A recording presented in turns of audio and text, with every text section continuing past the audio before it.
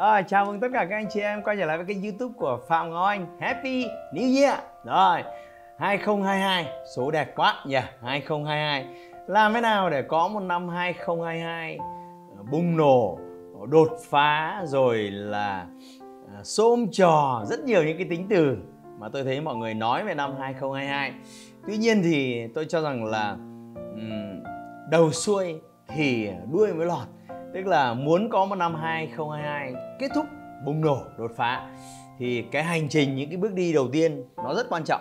Bạn biết đấy như một cái ờ, vận động viên chạy 100 mét ờ, tốc độ à, thì đôi khi người ta hơn nhau ở mấy cái tích tắc đầu. Lúc mà nghe tiếng súng bom một cái xuất phát. Đôi khi xuất phát chỉ cần kém một tí là cũng về sau như bình thường.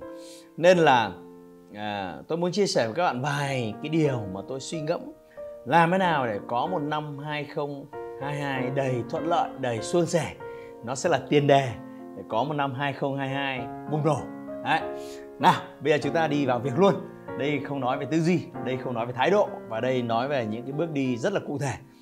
Thứ nhất, tôi đề nghị bạn là hãy ngồi xuống và đánh giá lại nghiêm túc cái năm 2021 bạn đã đạt được những cái gì không đạt được những cái gì so với kế hoạch mà bạn đã lập ra thì cái gì bạn đã đạt vượt và cái gì bạn chưa đạt. Thế thì cái điều quan trọng nhất ở đây là tôi muốn bạn rút ra so với cái kế hoạch bạn lập năm 2021 và thực tế bạn đạt được cuối năm 2021 bạn học được điều gì từ cái việc bạn lập kế hoạch? À, liệu kết quả nó có xí sao không? Hay là nó kế hoạch bạn đặt 10 nhưng mà đặt ra thì à, kế hoạch bạn đặt ra là 10 nhưng mà lập được đạt được nó trong thực tế thì chỉ có 3 4 thôi. Tôi muốn bạn hết sức nghiêm túc. Bạn học được điều gì? Thông qua việc lập kế hoạch năm 2021. À, cái điều này rất quan trọng nhé. Và bạn không cần phải nộp nó cho tôi hay là chia sẻ nó cho ai. Bạn lập cho chính bạn thôi.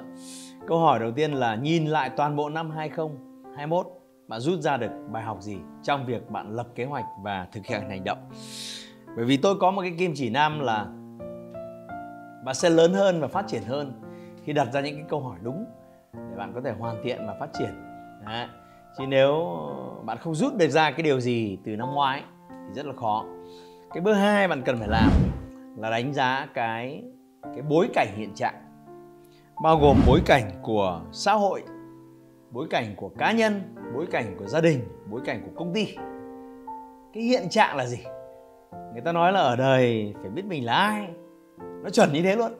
Thế thì bạn thân mến, tôi cho rằng là bối cảnh của xã hội thì vẫn còn rất phức tạp. Mặc dù ờ, chúng ta tiêm mũi hai rất nhiều, tiêm mũi ba rất nhiều, nhưng mà bây giờ nó cứ loạn xà ngậu hết cả lên rồi là biến chủng mới, rồi là tốc độ lây lan, rồi rất nhiều thứ. Nên tôi cho rằng chúng ta ở trong một cái thời kỳ, nó gọi là thời kỳ nhì nhằng. Cứ nhì nhà, nhì nhằng. Chúng ta không lo ai chết, nhưng mà còn rất nhiều biến cho cái công cuộc chống dịch. Hôm nay sẽ như thế này, mai sẽ như thế khác, đúng không? Ngày xưa tôi nhớ nhân viên của tôi đi chung thang máy với f0 đã bị coi là f1 và khênh đi rồi còn bây giờ định nghĩa mới là phải sờ vào f0 phải nói chuyện cái gì đấy, nước mặt, nước nước bọt bắn tung tóe vào mặt nhau thì mới bị gọi là f1 thế thì cái việc này nó thay đổi liên tục.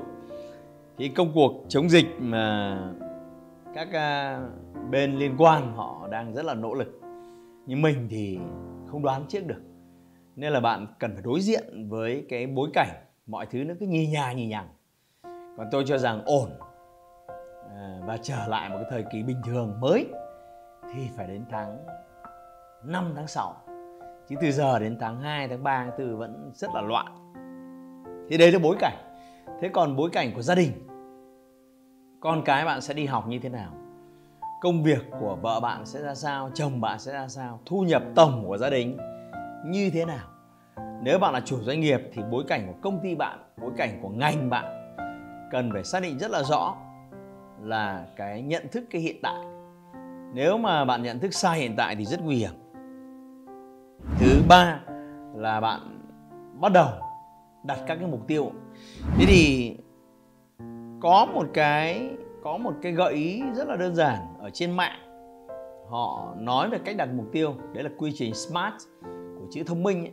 nó là S M A R T. À, À, quy trình smart bạn có thể search Google. Thì nó hướng dẫn chúng ta lập kế hoạch lập mục tiêu. Thì ở đây tôi lưu ý bạn là một cái mục tiêu bạn lập ấy thứ nhất là cái khía cạnh bạn cần phải lưu ý. Tôi cho rằng chúng ta có một số khía cạnh như là khía cạnh sức khỏe này à, khía cạnh tiền bạc này khía cạnh à, học vấn trí tuệ này khía cạnh cải thiện các mối quan hệ này à, rồi khía cạnh hạnh phúc gia đình này nó có rất nhiều các khía cạnh. Thì hãy lập mục tiêu cho từng khía cạnh một. Và trong mỗi khía cạnh thì bạn cần phải đảm bảo là bạn cái mục tiêu bạn lập nó nó phải định lượng được nó phải đo lường được và nó phải có tính thực tiễn. À, chứ nếu bạn à, bạn đặt mục tiêu mà không có tính thực tiễn là rất nguy hiểm. Thế nào là tính thực tiễn? À, ví dụ như là bạn ở hà nội bây giờ bạn bảo là tôi sẽ đi vào đà nẵng. Ok bạn có quyền đi nhưng mà hiện tại thì xe máy bạn không có ô tô bạn không có bạn chỉ có mỗi xe đạp và gọi là xe hai cẳng. Thế thì bạn đặt mục tiêu đi vào đà nẵng. À, nếu bạn đặt mục tiêu đi vào đà nẵng trong vòng 6 tháng thì tôi nghĩ là khả thi. Nhưng nếu bạn đặt mục tiêu đi vào đà nẵng bằng xe đạp hay bằng đi bộ mà trong vòng một hai tuần thì cái điều đấy chắc chắn là phải xem lại. Vì cái tính thực tiễn đặt mục tiêu bao giờ cũng phải tính toán đến cái tính thực tiễn liên quan đến nguồn lực. À, thưa các bạn. Ừ.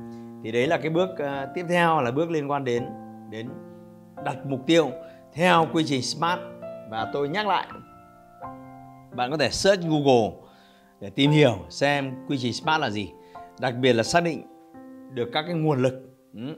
nếu bạn làm doanh nghiệp thì à, bạn cần phải xác định bối cảnh chung của thị trường như tôi giảng dạy trong các lớp về kinh doanh thì tôi hướng dẫn các anh chị chủ doanh nghiệp phải rất là thực tế về cái việc là thu nhập của khách hàng của chúng ta nếu ở phân khúc trung lưu hay là bình dân là đang bị sút giảm.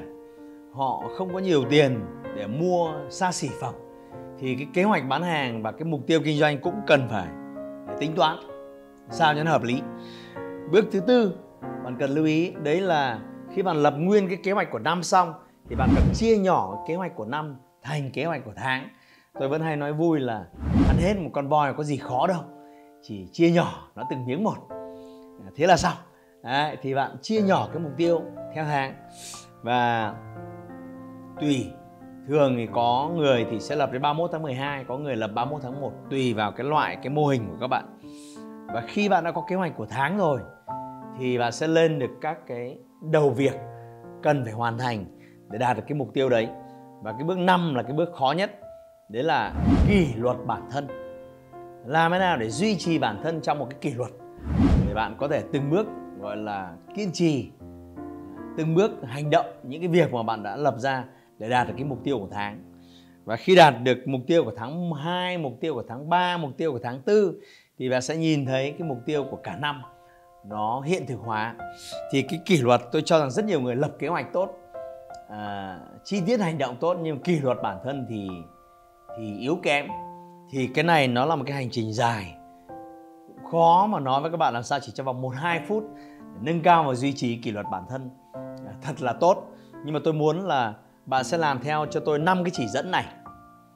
Ngay lập tức từ tháng này để bạn có những cái bước chạy đà của tháng 1, tháng 2, tháng 3 thực sự hiệu quả.